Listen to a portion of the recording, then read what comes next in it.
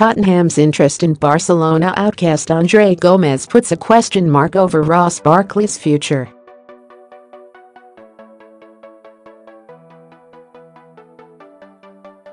The Portuguese midfielder cannot get in the Barca side and will look to leave to keep his place in the national team.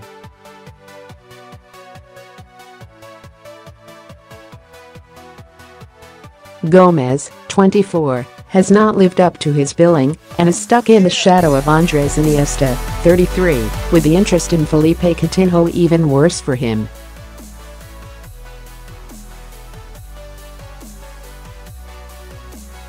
Spurs have been tipped off Gomes will be let out in the next window. Their tracking of Gomes puts doubt against a January move for Barkley.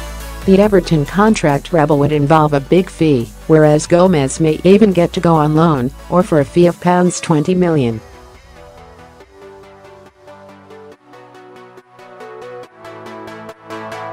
Meanwhile, Spurs have looked to tie down Dele Alli on a new long-term deal.